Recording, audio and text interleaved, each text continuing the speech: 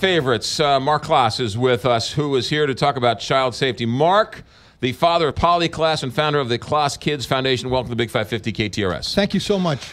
Um, it uh, you became famous or infamous, uh, uh, unfortunately, in 1993 when your daughter Polly was taken from her bedroom. That's correct. Uh, ultimately killed. The uh, f- f- the murderer was convicted and sentenced to prison. It is amazing to me how you've taken such grief and have turned it into such a positive. Mm. Well, thank you, McGraw. What it's done is it- it's given me and my wife an opportunity to put a real positive spin on our lives. And it mm-hmm. took a long time to get to that point. But we can look back now over the 24 years since it's been, and we can see that we've made a difference in a, ver- a lot of different areas, and that hopefully kids are much safer now than they were back in 93. What do you say to people who know who you are, mm-hmm.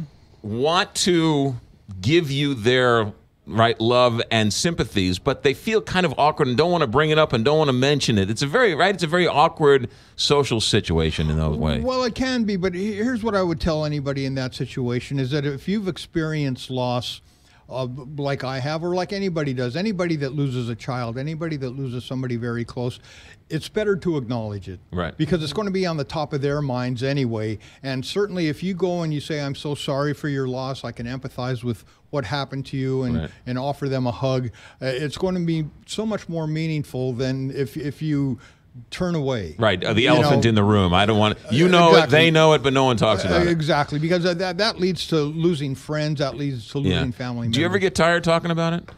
Well, it's at the forefront of my mind. I mean, I still think about Polly absolutely every day, and you know, I, I've been looking back, in fact, in in these last couple of months on on all of this stuff, and it, it's very much at the forefront. And my house is surrounded; it's it's full of Polly things. Right. So you know, uh, she was the love of my life. Right. Yeah. So She what do was, you do? She would be 36 this That's year. right. Is that right? She would be 36. Yeah. Can you estimate, just guess, how many lives, how many children's lives have you saved from your campaign? Well, you know, I don't look at it that way really. I, I, and I'm happy for all of the kids that are that are recovered or that don't go missing in the first place. But mm-hmm. man, that's them. That didn't happen to me. you know, it, it, it just didn't. Uh, we're very grateful for the legacy we've put together for her and believe that, you know, what, uh, one and a half million people in the United States died in 1993. And one of the few that ever gets talked about is my daughter. Yeah, yeah. Uh, you, you uh, it was the first. It was sort of the first.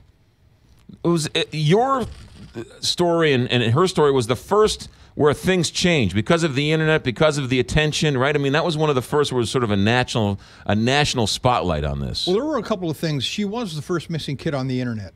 And a, a, a, a guy named Larry Mag had put all of that together. He was a tech guy out of California. Yeah. He got her up onto the bulletin boards, as they were called at the time. And it was also the advent of cable news. You know, uh, Fox hadn't even started yet. CNN was really the only cable news station, and Right. they needed to fill 24 hours. And and uh, our story offered them a way to help do that. Yeah. So a lot of things sort of catapulted and just moved this this case to the forefront Yeah. and and grab people's attention. You have been on every news organization. Every time something happens, a child goes wrong, missing, they always come to you as the expert in the situation. And you said something, and every time I see you, I always ask you about it because it's so interesting.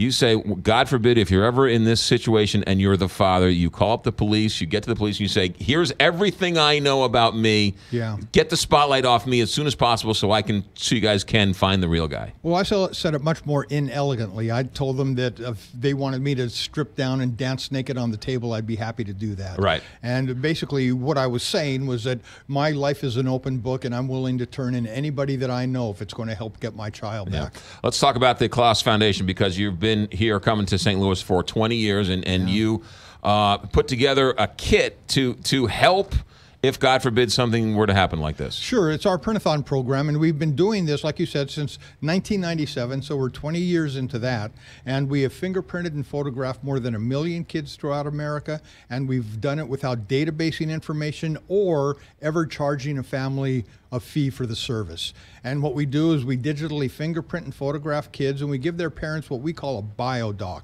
And it's got that information, the digital prints and picture, and blank form fields for personal and private information.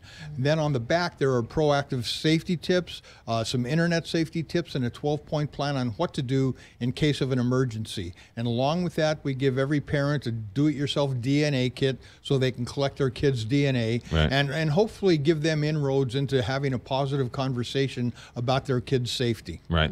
And so you then give this all to the parents. Uh-huh. They hold it, and God forbid, if the police ever need it, they can put their hands on it, and that helps the police. That helps everybody. It helps the police. It helps the parents. Because one of the things we tell them, and this is back in 93, we were told to sit by the phone and wait for the ransom call to come in. Mm-hmm. I mean, that was sort of our response, was supposed to be that.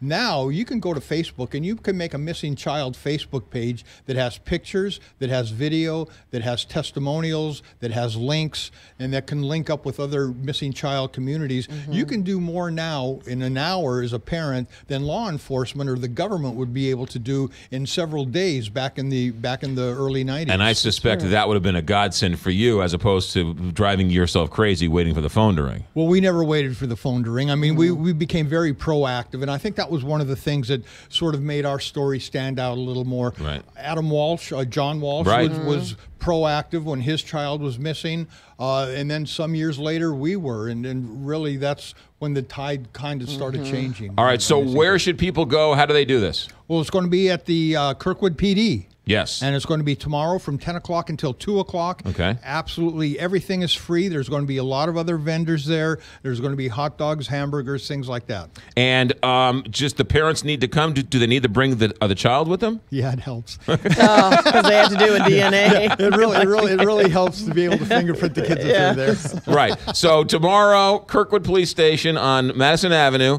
uh, from 10 to 2. Tomorrow, uh, 10 to 2, no money, no cost. Go in. A, an ounce of prevention is worth a pound of cure. And that it- makes everything is being underwritten by the Mungenast Auto people, as it has been for the last 20 years. Uh, Mark Klaas, you are always welcome here. And to turn, you've seen the worst of society, but you've also probably seen some of the best.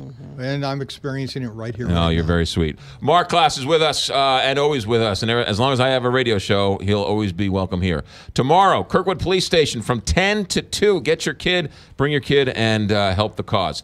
Um, thank you. Good luck. Thank Sa- you. Safe, safe, Thank safe guys. travel.